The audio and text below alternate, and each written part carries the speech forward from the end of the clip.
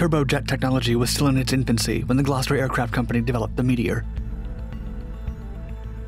This was the first British jet powered aircraft and the only one that the Allies ever sent into combat during World War II. The Meteor had been built to engage in air battles with the Luftwaffe Me 262, the first operational jet powered fighter aircraft that stunned the Allies when it appeared. But the much expected confrontation between both jets never happened. Eventually, both were replaced with more modern and efficient planes. However, the Meteor was an excellent combat fighter. It broke several aviation records. The aircraft remained a fundamental part of the Royal Air Force for several years and served successfully in 15 other countries, where it had essential participation in several regional conflicts.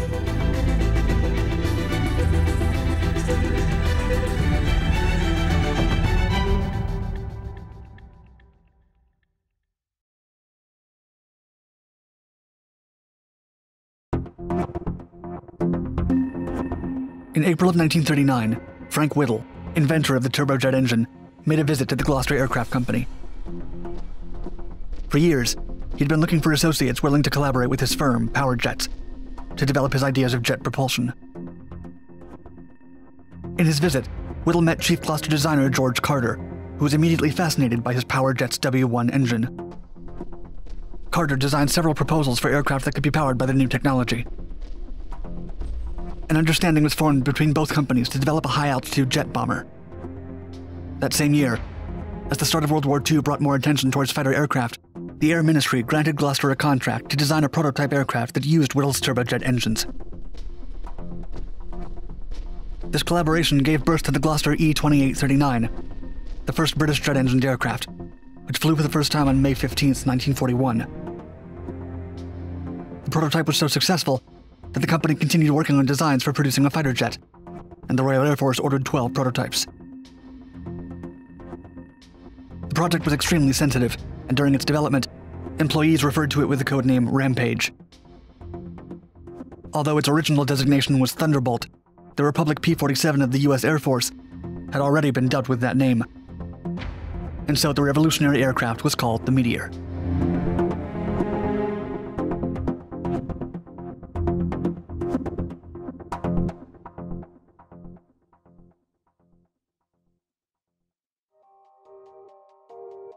New jet powered fighter went through a long period of development and several prototypes.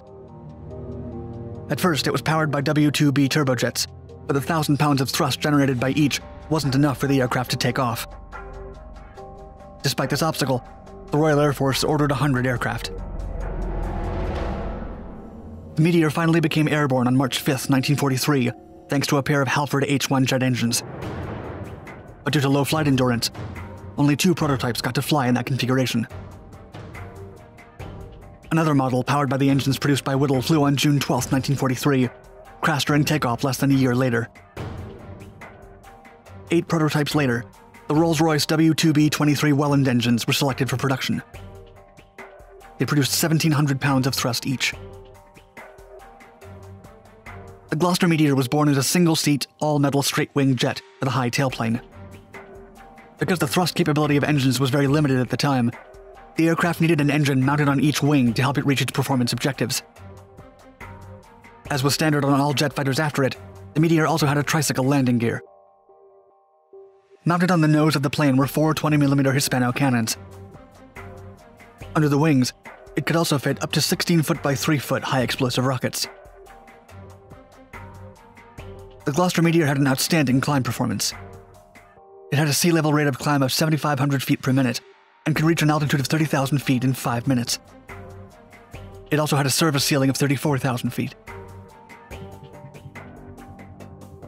In the beginning, the jet had a top speed of 410 miles an hour.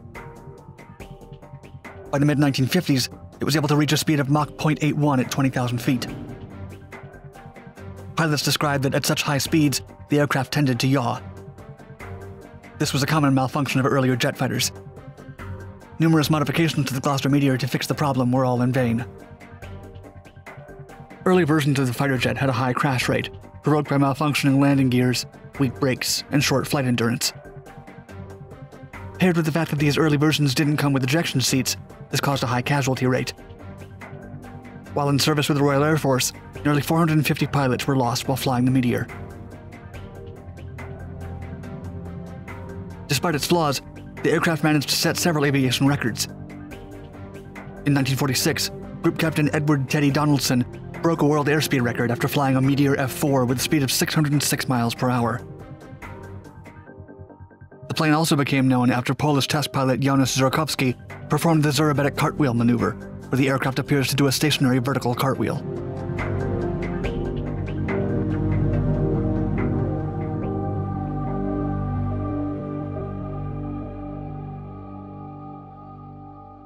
Combat in World War II was dominated by propeller driven aircraft. Still, the Allies felt threatened by new German jets, like the Messerschmitt Me 262 and the Heinkel HE 162 Salamander.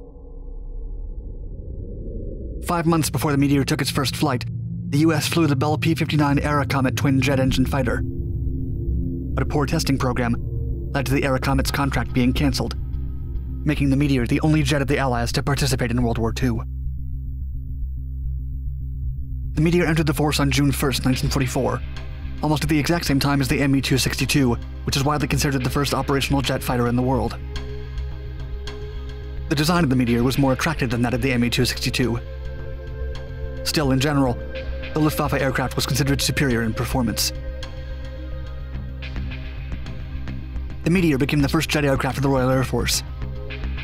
On July 12, 1944, 616th Squadron received their first Meteors as a replacement for their Supermarine Spitfire 7 piston powered fighters. A week later, 30 pilots of the squadron had already gained experience with the jet.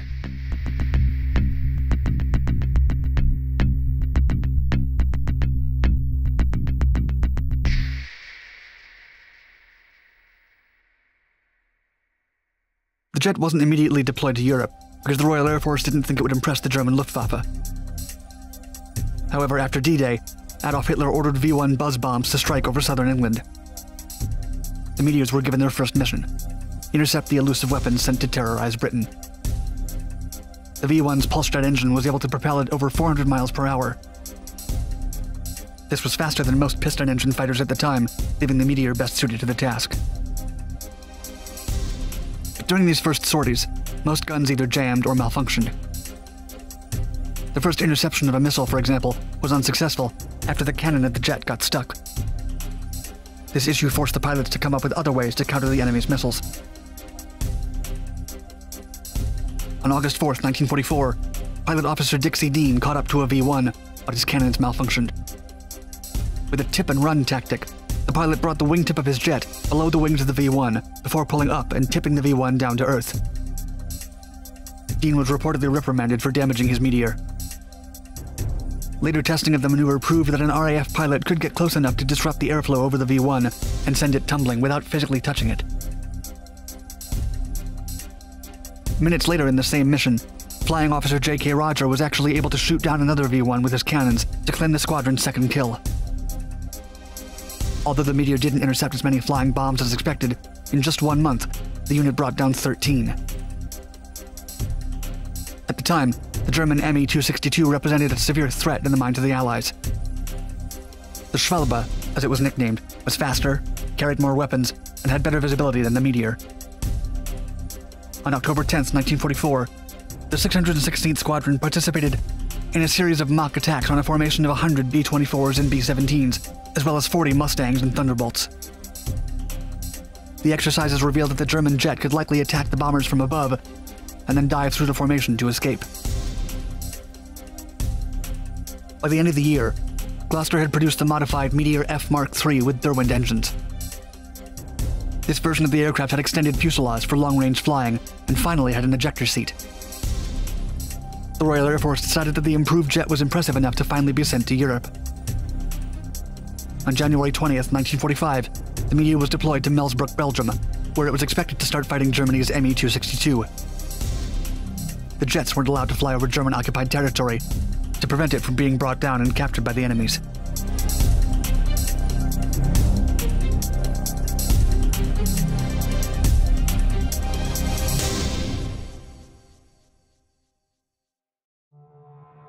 In the following months, the squadron was moved to different cities around Holland, where they carried out ground attacks and armed reconnaissance missions. Unfortunately for the eager pilots, there was no jet to jet fighting during the war. Once a flight of meteors encountered a group of Focke-Wulf FW 190s, but they abandoned the attack. Another time, a force of Arado AR 234 jet bombers attacked the squadron's airfield, but it didn't end in battle. And although the much anticipated clash with the ME 262 never happened, the Meteor F Mark III became the standard daytime interceptor of the Royal Air Force until 1947.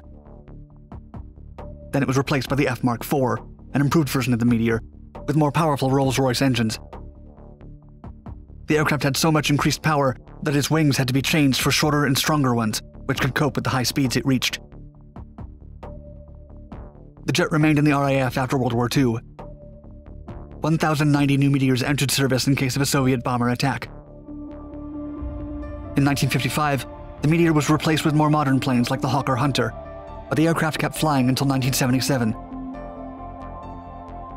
3,875 Meteors were built, more than any other British aircraft of the era, and 890 were lost in service.